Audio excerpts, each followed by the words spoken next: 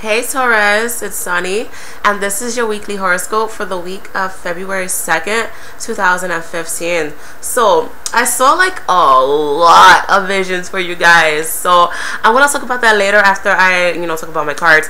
But um some of you may feel really defeated and you just like really feel like you may have been used in some aspect of your life, but I'm also sensing that um like you guys just want a fresh start and you just want to start over like new um seeing the number five right now and with five it symbolizes like really being in charge and being bold with your decisions. It also means like being in tune with your senses like all your five senses your taste smell touch blah blah blah. And it also symbolizes like a change within your path. And that makes sense with one of my cards so it's kind of weird how i just randomly saw five.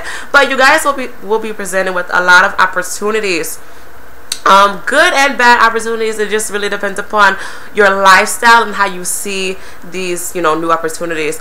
Be careful because we still um, are in Mercury retrograde. I believe uh, Mercury is supposed to move in direct mid-February. I don't know. I really don't keep up with the planets. I really, really don't. But um, and also be careful that some things may be too good to be true um, you guys just are honestly just gonna, gonna have your guard up and you just want to protect yourself. So that's really understandable. There is some stuff that is good for you that's heading your way so just be careful about that um i am sensing an ending and beginning to some things and you guys you you guys will get your fresh start and you guys will feel um renewed and you just you know you just want to be good and yeah i feel like you guys will come to the realization that some things have to end to begin. So but for my visions i saw like feet walking. Oh my god what the fuck else did i see? I saw a castle and it ties in with the um many opportunities heading your way. And oh my i saw some other shit but i really don't remember so but the, the, the main thing that really stuck out to me was the the walking.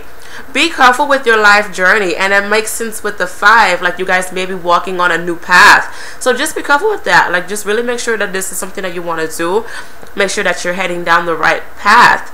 Like that's why i said just really be careful like which lifestyle you want to take. So if you are in a sucky mood you make also a sucky path but if you pick yourself up and you dust yourself off and you're like fuck it I, I mean I have to move on then you may you know enter a path that will better you. So just be careful of your um your demeanor you know? So yeah try to have a good week this week and I'll see you guys next week.